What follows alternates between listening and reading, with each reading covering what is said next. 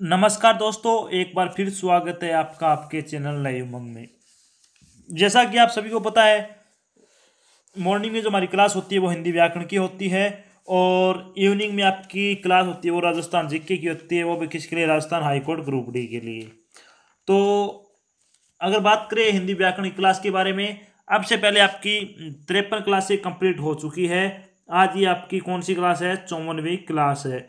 और इसमें आज के हम चालीस क्वेश्चन करेंगे हिंदी व्याकरण के। तो हिंदी व्याकरण के चालीस क्वेश्चन है। वो आपके, क्या है, सभी टॉपिक में से होंगे, जो भी आपका Rajasthan high court group D का सिलेबस है, उसके अकॉर्डिंग के आपका ये पेपर है, पूरा उसी पे बेस है। तो आज आपको क्या पेपर करने में मज़ा आने वाला है, क्योंकि रोज़ाना आपके क्या, मैं पाँच पाँच क्वेश्चन के जोड़े बनाता था, फिर ऐसे करता था, लेकिन आज आपको पेपर जैसा आपका पैटर्न होता है, उसी के अकॉर्डिंग आपको ये टेस्ट दिया हुआ है। इसमें सारे क्वेश्चन रिमिक्स है, पता नहीं कौन सा क्वेश्चन कब, कहाँ से आ जाए।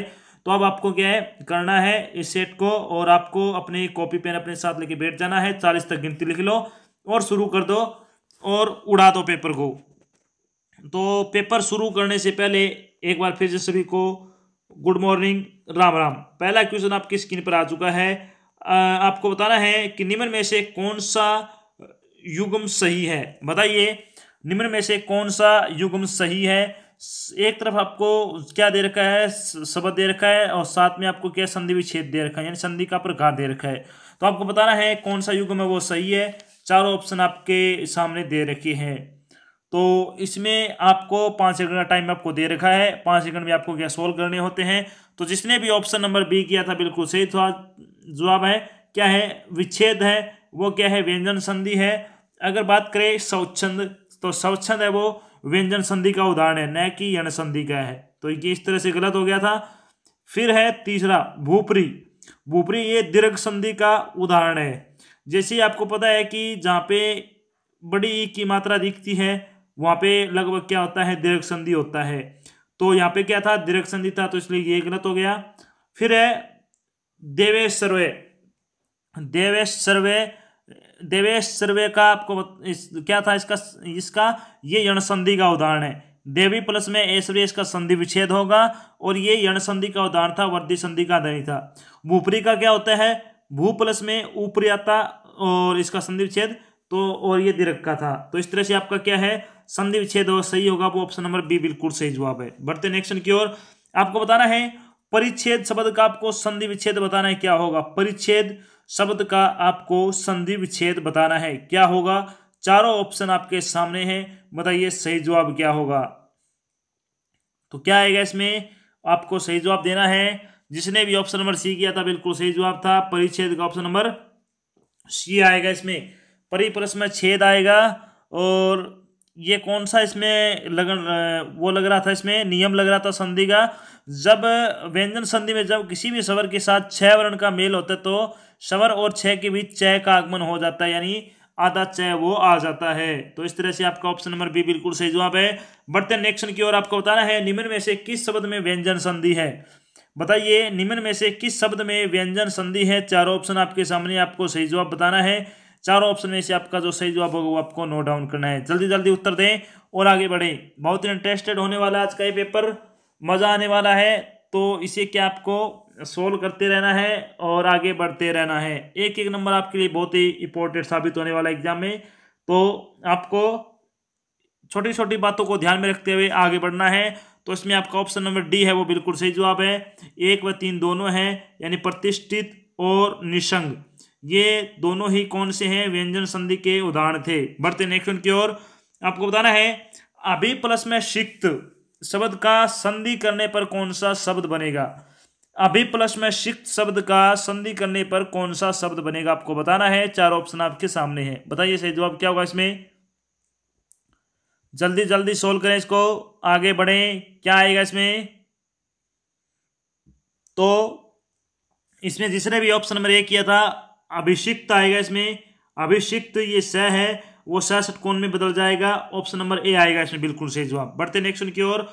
आपको बताना है, निम्न में से किस विकल्प में संधि विच्छेद गलत है?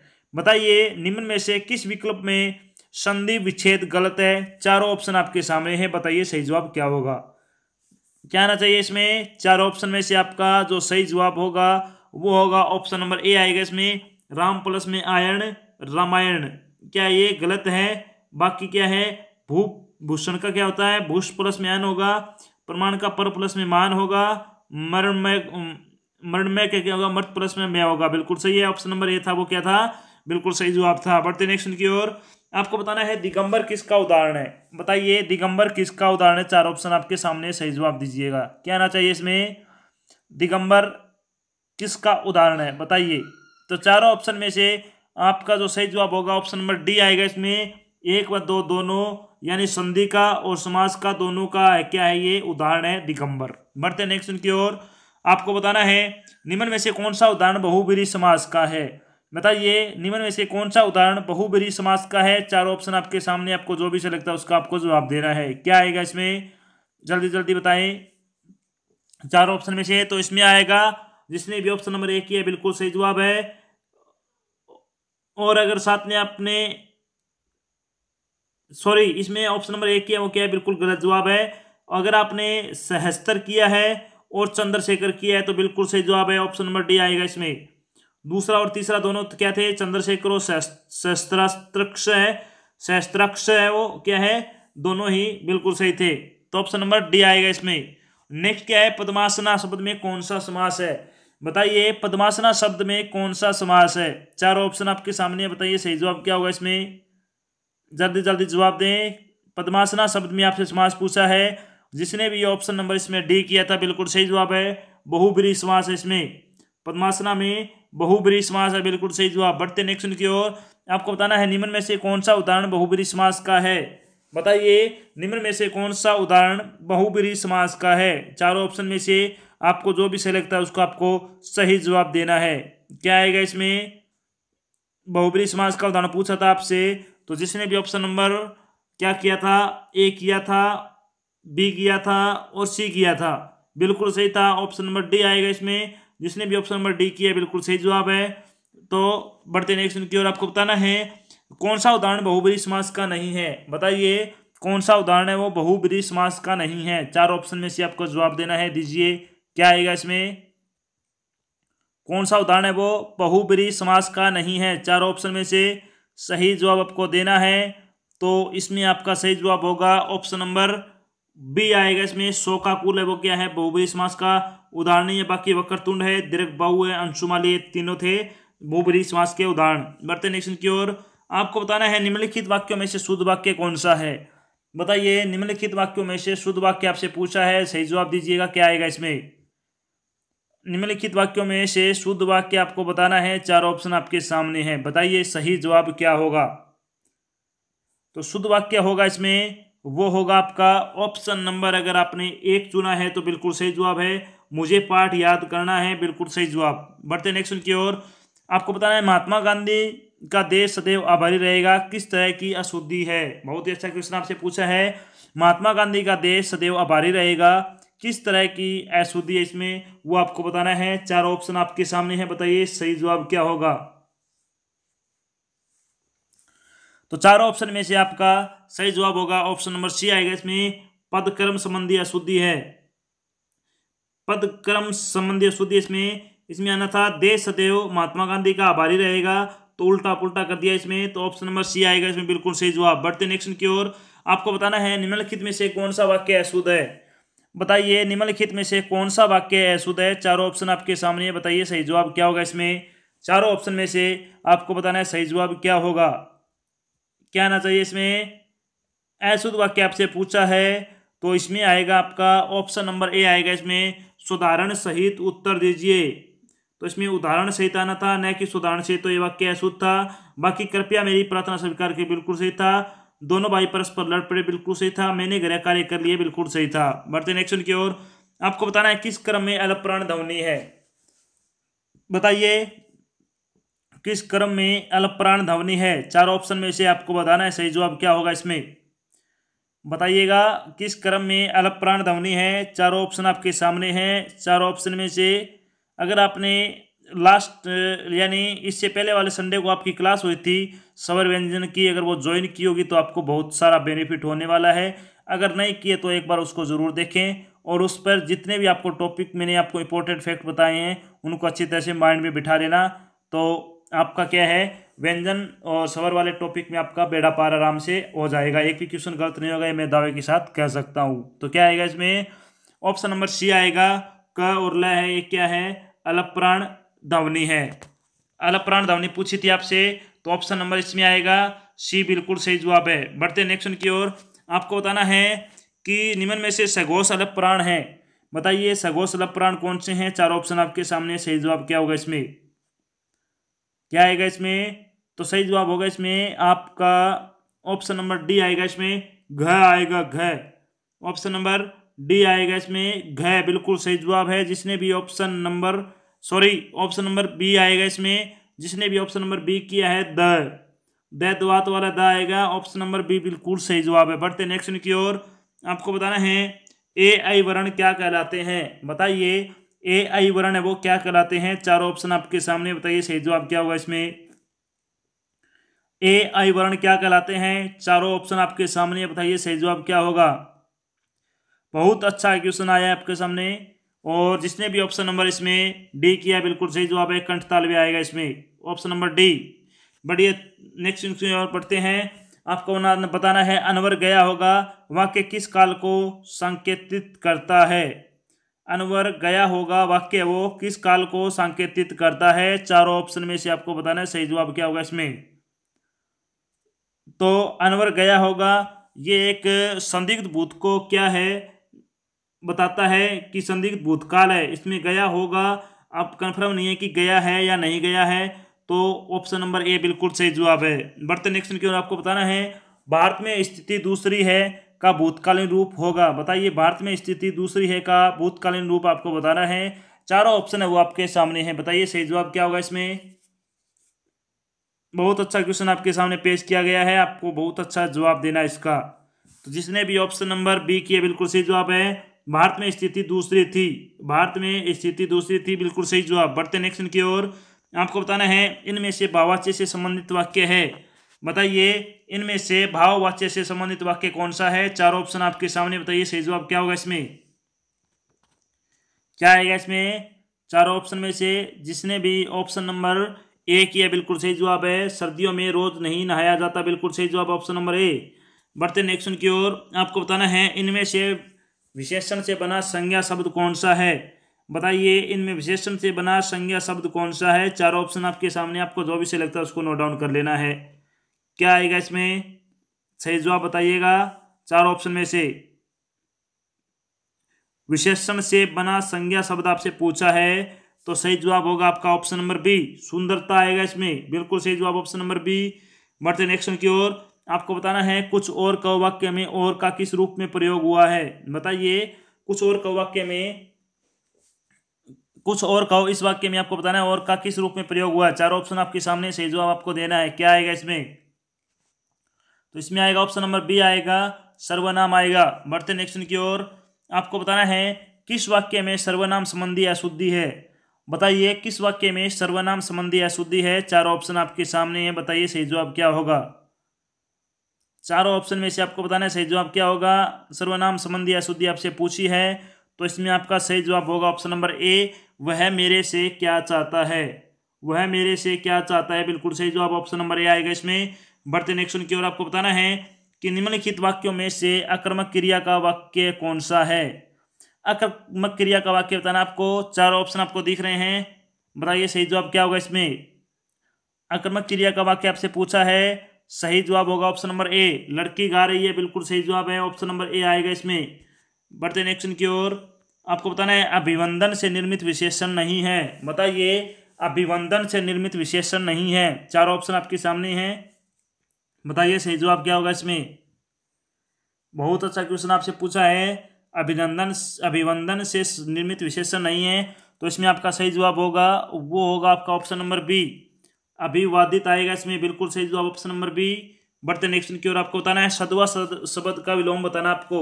सदवा शब्द का विलोम बताना है, बहुत बार रिपीट हुआ है। आपको बताना है कि क्या आएगा इसमें, सदवा शब्द का विलोम।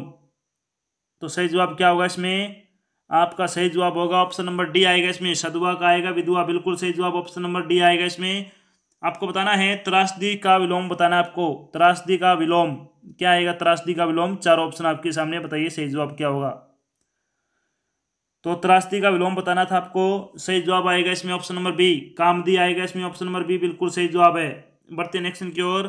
आपको बताना है, गीता अपनी सहेली की शादी में गई थी। रेखांकित शब्द का पर्यावाची शब्द नहीं है। गीता अपनी सहेली की शादी में गई थी। रेखांकित शब्द का पर्यावाची शब्द नहीं आपको बताना है कौन सा नहीं है। चार ऑप्शन आपके सामने हैं। चारों में से आपको बताना है सही जवाब क्या होगा।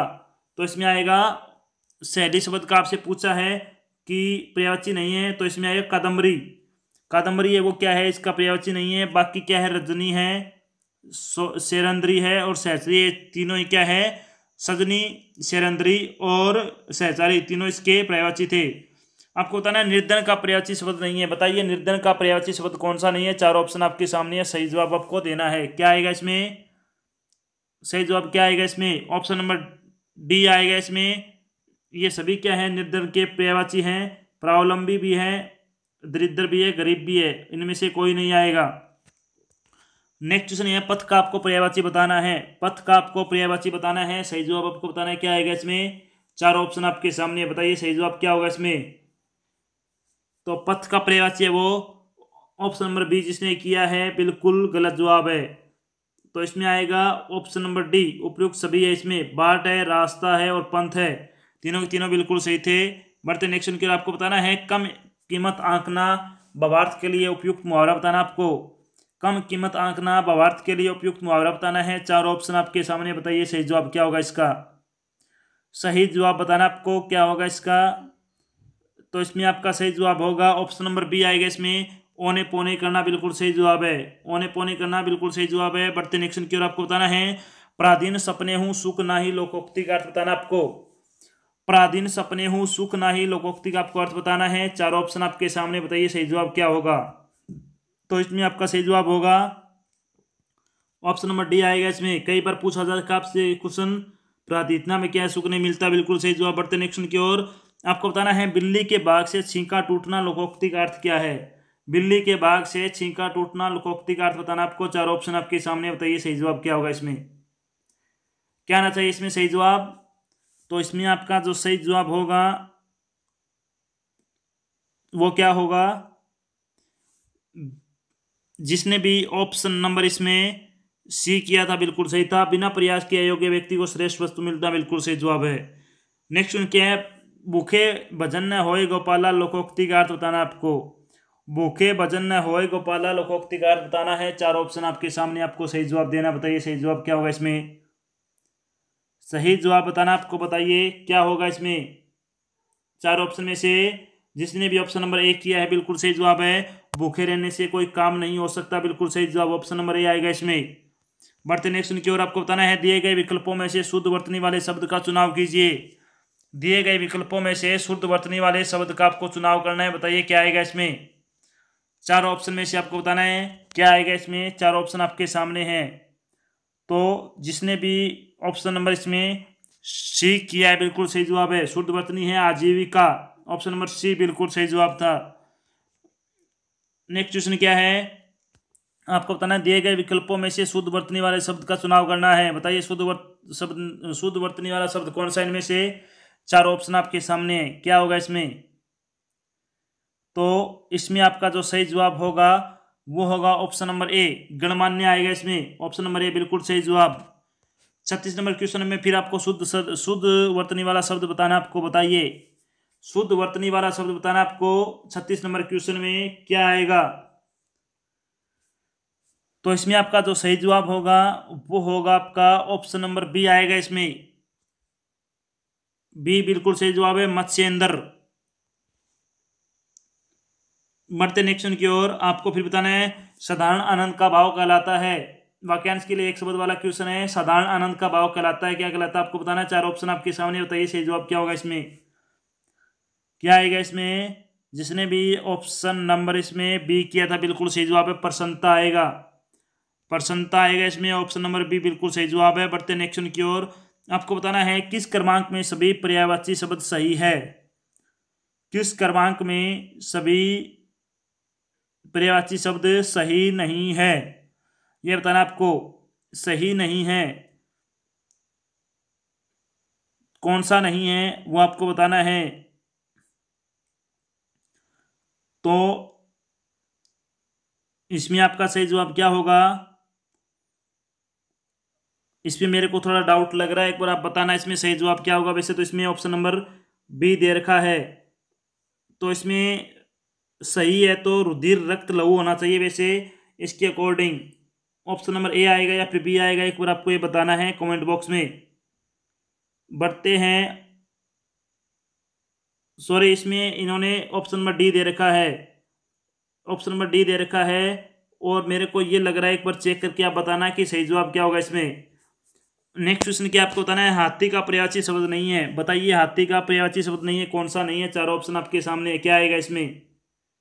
हाथी का पर्यावाची शब्द नहीं है, कौन सा नहीं है? इसमें बताना आपको चार ऑप्शन आपके सामने हैं और सही जवाब बताइए, क्या होगा इसमें?